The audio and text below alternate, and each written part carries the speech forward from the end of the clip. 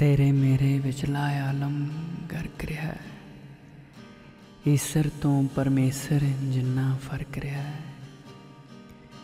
ਤੇਰਾ ਮੇਰਾ ਸ਼ਹਿਰ ਮੈਂ ਸਾਰਾ ਢਾ ਦਿੱਤਾ ਪਰ ਜ਼ਰਰੇ ਜ਼ਰਰੇ ਦੇ ਵਿੱਚ ਤੂੰ ਹੀ ਵਰਤ ਰਿਹਾ ਜਿੰਨਾ ਤੈਨੂੰ ਧੋ ਧੋ ਲਾਇਆ ਜਿਸਮਾਂ ਤੋਂ ਉਹਨਾਂ ਡੂੰਗਾ ਸੋਚਾਂ ਦੇ ਵਿੱਚ ਪਰਤ ਰਿਹਾ ਹੈ। ਮਿਲਿਆ ਨਹੀਂ ਤੂੰ, ਸ਼ਿਕਵੇ ਕਰਦਾ ਰੋਜ਼ ਰਿਹਾ। ਤੂੰ ਅੰਬਰ, ਤੂੰ ਪੌਣ, ਤੂੰ ਮੇਰੀ ਦਰਦ ਰਿਹਾ ਤੇਰੇ ਮੇਰੇ ਵਿੱਚ ਲਾਇਆ ਲਮ ਗਰਕ ਰਿਹਾ